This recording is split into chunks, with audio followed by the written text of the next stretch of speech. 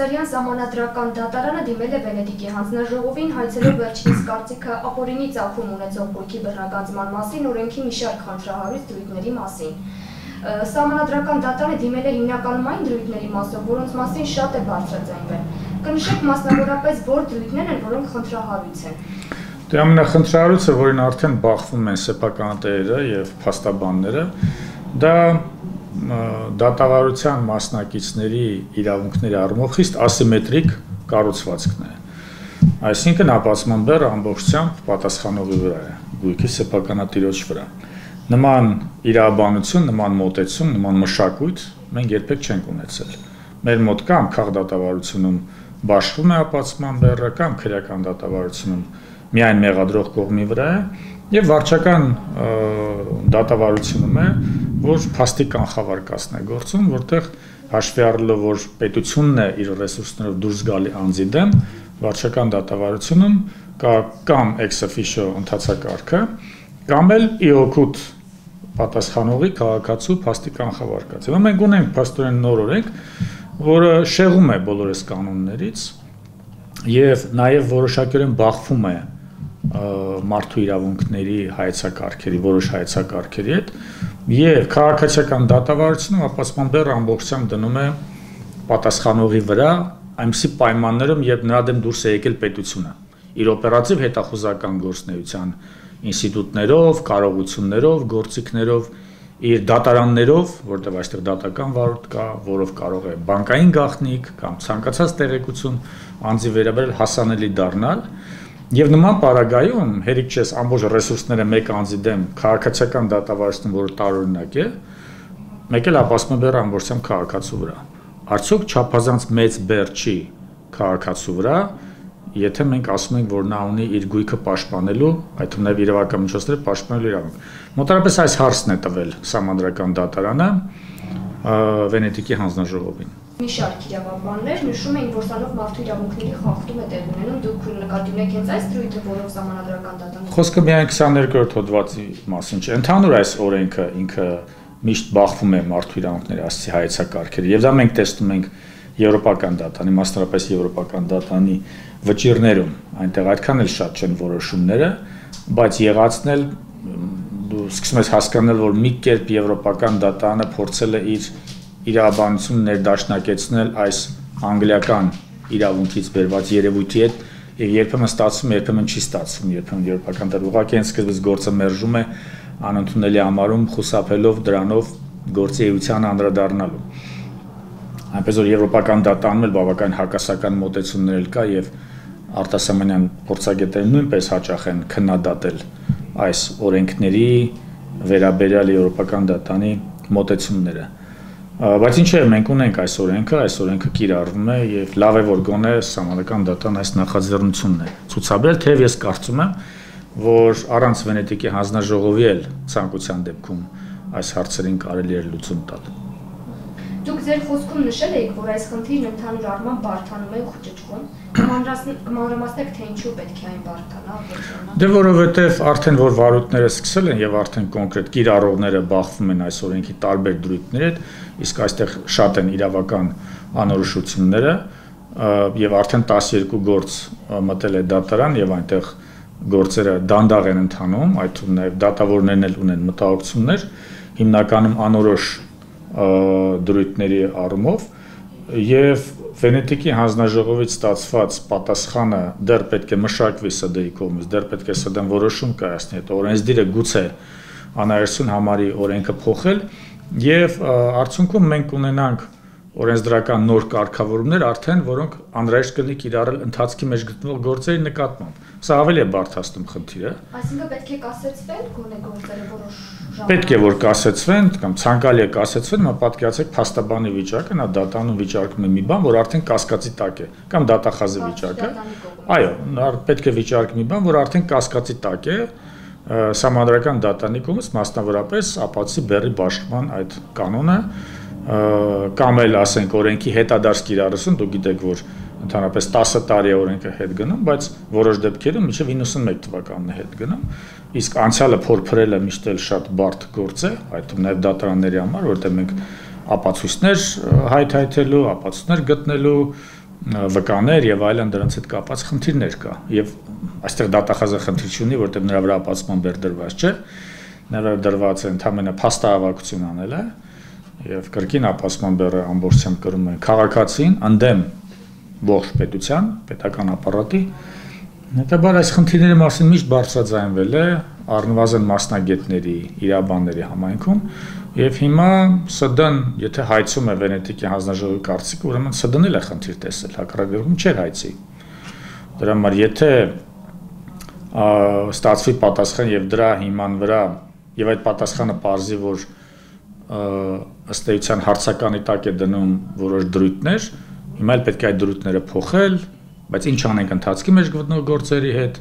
կամ եթե փոփոխված օրենքը արդեն կիրար կիրառվի ընթացքի մեջ գտնվող գործեր, իսկ այդ գործերը միայն դատարանով չէ, որ ընթացքի մեջ են, առնվազն 2 տարի արդեն քննվում են, բարձր որ առաջանում են արդեն հակասական իրավիճակներ եւ դեռ որքան հասկացա 200 գործեր ըստ պաշտոնական տեղեկության վարույթները նախաձեռնվել են այնպես որ դրամ արեմ ես նշել, որ իրավիճակը ել ավելի խճճվելու։ Այս օրենքն արդեն մի տարուց ավելի է, մեկ տարուց ավելի է, որ գործում է։ Այսինքն ինչու է բարձր դատարանը հիմա որոշել դրան Դա ես չգիտեմ, ընդհանրապես Ну, ես չեմ ուսումնասիրել, թե երբ է բերվել դիմումը, երբ է նախաձեռնվել դիմումը բոլոր դեպքերում, այո, բայց լավ է գոնե որ 1 տարի հետո է համադրականության հարց բարձրացվել։ Կարող էր նաև ավելի ուշ լինել։ Համենայնդեպս Օրենքները մեր մոտ միշտ էլ փոփոխվում են։ Ուղղակի այս օրենքը էապես շեղվում է այն ողջ մշակույթից իրավական, որը մենք միջև մա ունեցել ենք։ Ինքը բավականին կրկնում ագրեսիվ դինամիկա ունի, խիստ ասիմետրիկ կառուցվածք ունի իրավունքների մրցակցային դատավարության առումով, եւ դա գալիս է մի այնպիսի համակարգից, որը ամբողջությամբ խորթ է կոնտինենտալ իրավունքի, եվրոպական մայրցամաքային իրավունքի հիմնական դրույթներին եւ գալիս է անգլոսաքսոնական իրավունքից եւ մենք պետք է փորձենք հարմոնիզացնել մեր անցած ճանապարհը այս նոր մշակույթի հետ։ Արդյունքում այս ծնվում են այս կոնֆլիկտները, որը ՍԴ-ն փաստորեն հանձն է առել լուծելու։ Միջազգային փորձն ինչպիսին է։ Ինչ ունենք։ Միջազգային փորձը այնքան էլ լավ վիճակում չէ, նույնպես շատ հակասական է։ Մի կողմից մարդու իրավունքների հայցակարգերը կրկնում եմ անընդհատ խնդիրներ են արձանագրում այս օրենքների կիրառության հետ, մյուս կողմից հանցավորության շրջանակներ այնքան շատ են աճել, միջազգային կազմակերպված հանցավորություն, տրաֆիկինգ, terrorizmi ֆինանսավորում, հիմնականում փողերի լվացում որ նման օրենքները անհրաժեշտ են, բայց որպես կան նման օրենքները կիրառվում են քրեական դատավարության կարգով։ Բայց նույնիսկ այնտեղ են խնդիրներ ցակվում։ Իսկ երբ որ կիրառվում է in rem ընթացակարգով, որտեղ օրենքի առարկան առարկան է, կներեք, ոչ թե մարդը, այսինքն գույքը, այսինքն մարդը հաշիվ չէ։ Դրա համար մարդու իրանքները տուժում են որտեվ մեզ հաճախ ասում եւ դա այդպես է որ այս օրենքը ուղղված է գույքի դեմ, առարկայի դեմ բայց գույքի սեփականատերը ունի գույքային իրավունք, հիմնար իրավունքներ։ Այստեղից էլ ցակվում է այդ դիլեման։ Հին անգլիական իրավունքից բերված ընդհանցակարգեր են, որտեղ օրենքը աշխատում է միայն գույքը բռնագանձելու ուղությամբ, հաշվի առնելու մարդու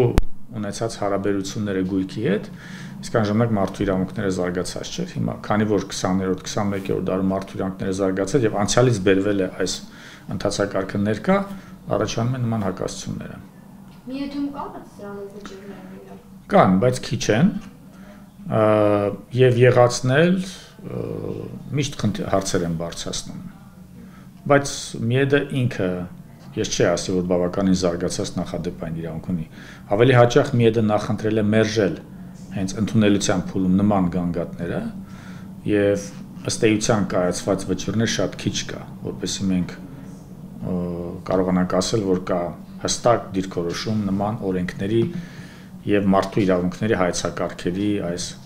հարաբերակցությանը վերաբերյալ։ Բայց հիմա տեղնում են ինչ որ մենք ասում ենք տարիներ առաջ, որ այս օրենքը բախվել է մարդու հիմնար իրավունքների եւ մենք տեսնում ենք հիմա այդ բախումը արդեն իրական է դարձել։ Մնում է լուծել այդ ամբողջը։ Դուք որպես միջազգային իրավունքի մասնակետ, որպես փաստաբան, ինչ եք առաջարկում, ինչ պետք է անեին եւ ինչ պետք է հիմա անեն, պարոն Ղազարյան։ Ես նախ կուզեի, որ այս օրենքը ընդհանրապես չլիներ։ Բայց եթե կա էլ, այստեղ մի շարք դրույթներ կարելի է բարելավել եւ գուցե մասնակի վերանայել ապացի ճաշտման այս կանոնը, փաստի կանխավարկած է այս կանոնը, որտեղ ինքն է պատկերացրեք քաղ դատավարությունը մենք միշտ պատկերացրել ենք որ քաղաքացին դուրս է գալի քաղաքացու դեմ հա մենք հակարծ ունենք իրավիճակ երբ որ